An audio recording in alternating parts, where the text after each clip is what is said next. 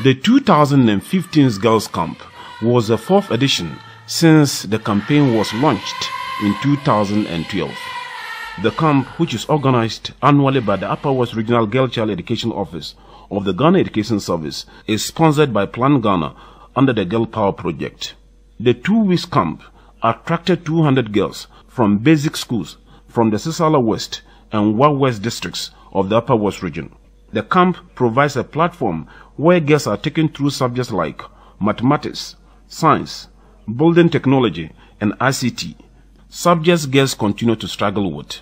Speaking on the theme, transforming girls into future leaders and entrepreneurs, the Deputy Upper West Regional Director of the Ghana Education Service, Madam Beatrice Jato, urged girls to venture into professions that are perceived to be for men only to enable them earn a decent living. As the saying goes, females, well, I want to encourage you. We always say that what a man can do, can do it better. And it's actually true. Like uh, it's our society and other societies, before any important thing can be done, they have to consult a woman who is not at the forefront, but behind. If not, nothing will happen. So we can do it better, but we don't come to the forefront. So I challenge you also. Eh?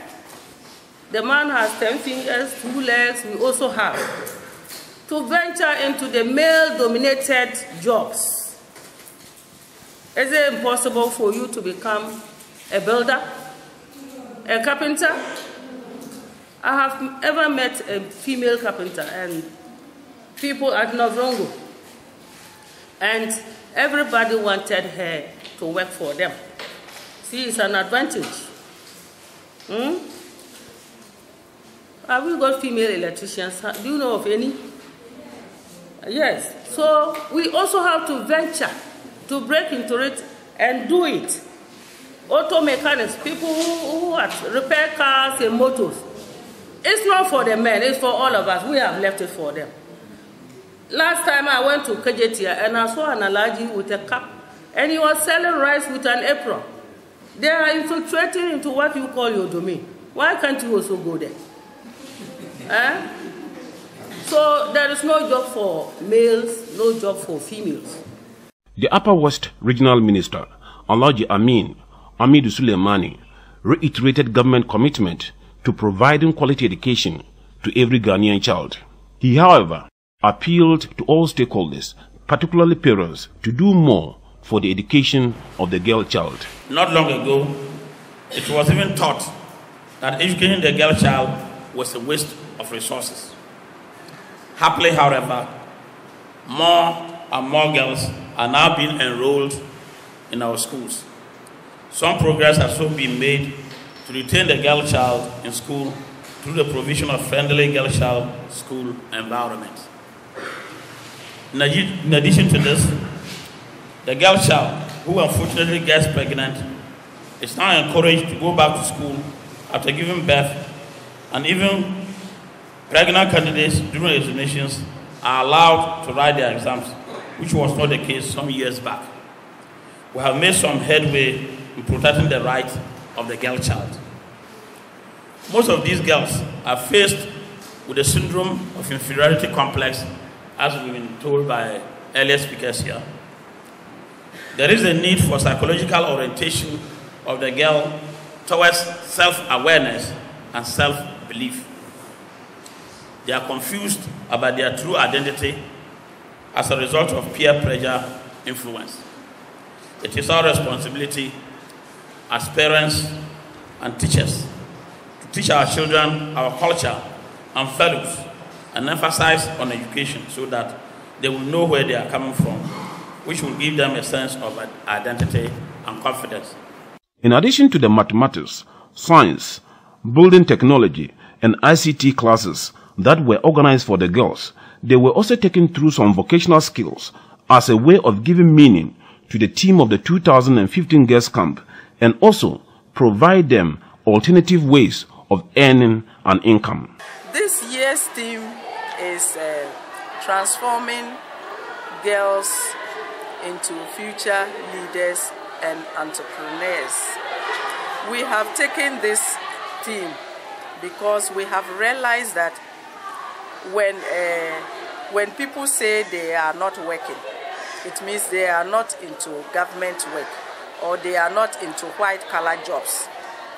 But uh, with this training, we are exposing the girls to other things that you can do on your own, which can earn you income. For example, sewing. Sewing can earn you income, and you can uh, develop your profession along that line. We also did a beadwork. Have you seen my beautiful beads that I'm wearing? Yes, one of the girls made it for me. And then you see that this is beautiful and she can earn an income from it. They should not, uh, we try to disabuse their minds on this employment, on unemployment uh, thing.